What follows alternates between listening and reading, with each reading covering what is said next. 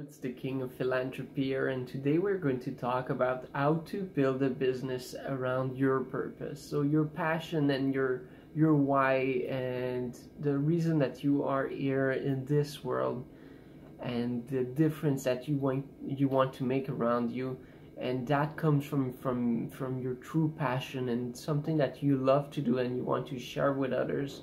Because as humans we are here and as spiritual beings we are here to serve and we are here to give back. So whatever your skill is and your your passion and your purpose that comes from that you want to uh, to turn it into a business so you can enjoy your life and enjoy giving back to others which is uh, which which is the best thing ever. If if you if you have your hobby and you make a business out of it you will enjoy every day of your life and people will see that because you will be so happy and so enjoying your life and what you do and giving back that it's it's uh, it's going to be contagious and people are going to enjoy spending time with you and using your your services or products depending on what it is uh, that you're making as a business so for us it's about uh, about promoting philanthropy and helping people find their purpose so we're doing events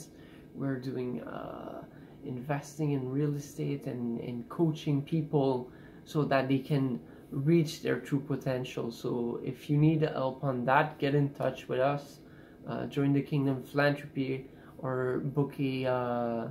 a call with me where we can we can uh, talk about what you love and see what you could uh, what you could do for a business. So there's there's multiple ways. Um, if if if you find your passion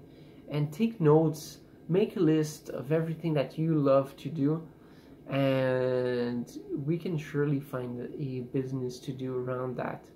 there's uh, there's so many options out there and people now more than ever need to start their own business. Either you have a job and there's no there's no guarantee from a job anymore and there the company could be closing and then you're you're going to have to own your own job uh, own your own business or start your own business on the side as your job and eventually it might uh, might become your full-time thing.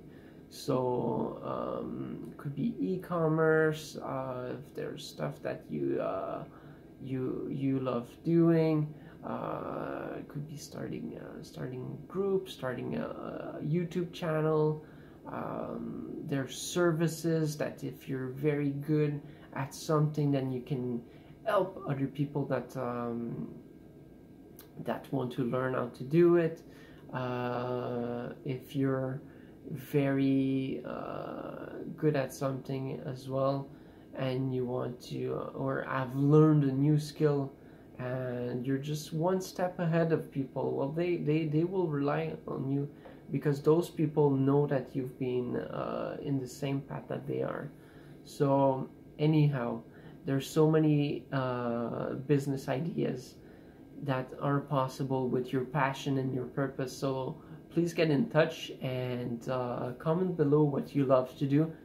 and we'll help you find out what's uh, what's business you can do around your purpose so thank you so much for listening tonight the world is a much better place with you in it and use your passion to make a difference in your community and help other people that are um,